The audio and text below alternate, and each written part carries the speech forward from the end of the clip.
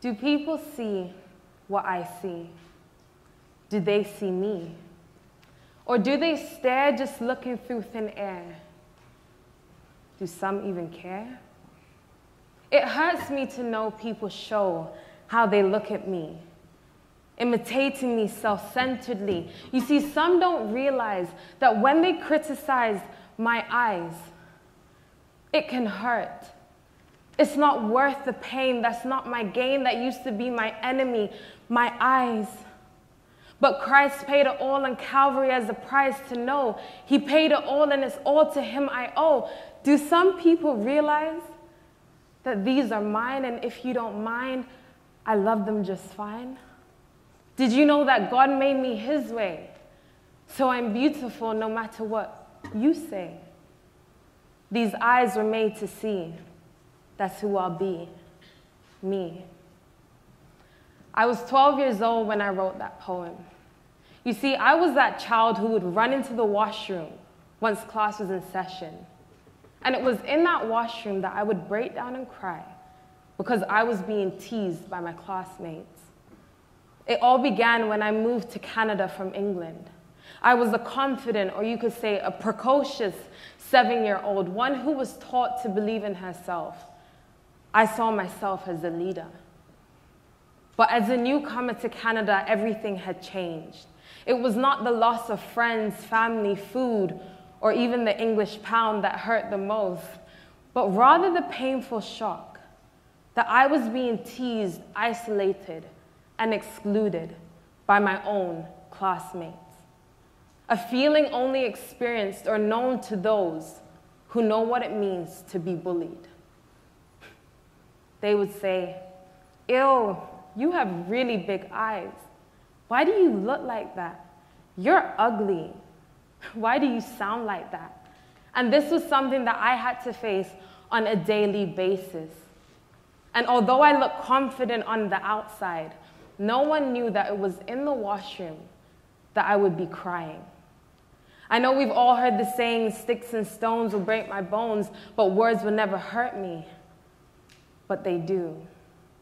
Did you know among 35 countries, Canada was ranked the ninth highest in terms of bullying amongst 13 year olds? And that 47% of Canadian parents have reported a child victim of bullying.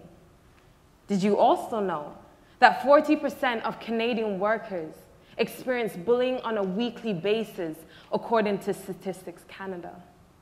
There continues to be a body of research that shows that those who are victims of bullying are more prone to experience post traumatic stress, anxiety, depression, peer rejection, and even academic difficulties. When I first heard these statistics, I was completely shocked of how high the numbers were. But really, what do these numbers mean to a person who has to face the bully on an everyday basis? Or what does this mean to the person who is forced to sit in the library and try to enjoy the company of the very person that they have grown to hate themselves? And so, for anybody who's experienced bullying, you would know that there comes a breaking point when you can take no more. And it is at this point that it will either break you or you will break through. And so I had come to my breaking point. I was fed up. I had told my mom everything. I hate people, I hate school, but most of all, I hate myself. But I don't know why I told my mom, honestly. Because where I was looking for somebody to comfort me and to feel sorry for me and to even make me go to another school, my mom was nothing like that. And so my mom loves challenges. And so she turned to me and said, Write. Write about your experiences to help somebody else. At that time, I thought that was the most ridiculous thing I had ever heard. I was looking for sympathy. I was looking for a new car one day, but she wasn't going to give me that. And so I began to write.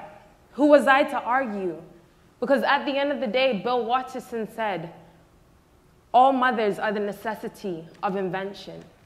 And so I wrote when I should have listened to San- quote, who said, All mothers are slightly insane. But anyway, I wrote, and I noticed that I was not the only one. And so now it made sense to why 47% of Canadian parents could have reported a child victim of bullying. But what about those who kept silent? What about those who have never said anything? By 14 years old, I co published my experiences with my sister, and we called the book Getting to Know Me. We then created an organization called LOL, Love Our Lives. Why LOL? Because at the time, LOL was the hot word. Everyone was saying LOL, laugh out loud, or LOL, lots of love. But I wanted to know, as somebody who had been bullied, how could I laugh out loud or give lots of love if I didn't even love myself? And so we created LOL, Love Our Lives. And we, this sparked an interest for me to give talks and to hold workshops and soon became came the awards and the recognition. But nobody knew that by myself, there was still a voice telling me, you're ugly, you're stupid, and you've got really big eyes. But I kept helping girls and I kept spurring them on. And after every session, I would notice that there would either be one mother or grandmother who would whisper in my ear, That was for me. I'm still hurting. As they left quickly, not wanting to enter into a conversation. And yet, like a dramatic movie or a scene in a movie, I was left to feel their tear upon my cheek as they walked away, leaving it, as it were, unfinished business. Yes, we know bullying is wrong. Yes, we know bullying hurts. Stop the bullying. I know we've heard it in our schools, we've seen it on media, we've seen it on the billboards. We know how the cycle of bullying works. That who, the person who was once a victim of bullying can morph herself into the bully who then bullies others. But take a moment and ask yourself have we ever thought about the victim and the bully being the same person? What I have learned is that the words of the bully has the power to be inscripted and inscribed on the minds of the victim, that she repeats those words over and over and over to herself, and it never stops. You're ugly, you're stupid, and you've got really big eyes. There are times when incidences or even smells or flashbacks occur that trigger feelings as if it happened yesterday. And like a shadow, it follows her into relationships, into the workplace, and even when making basic everyday decisions. For that grandmother who whispered in my ear, she was saying, They stopped the bully so many years ago, but no one restored the girl within me. And so, yes, bullying is a continuum that goes on and on and on and on. And we have often focused on the external bullying, but we have often forgotten the internal bullying. And so today I work passionately for girls to be restored into the woman that they were born to be. It is my passion that if we intervene in a girl's life at a young age, then, then we can actually rewrite the script that had been written originally by the bully. So that means that if we restore the seven year old or the 12 year old, then when the girl is 17 year old and a guy comes to her and says, You're beautiful, but in the same breath tells her she is nothing without him, he will never be able to trigger the words of the bully. Why? Because we have rewritten the script from within. Or what about that boss who uses exclusionary practices to make you feel stupid and incompetent? She will never be able to bring up self doubt or self hate. Why? Because we have rewritten the script from within. And so it is my passion to speak about girls restoring the woman because it's such an important part of a woman's life.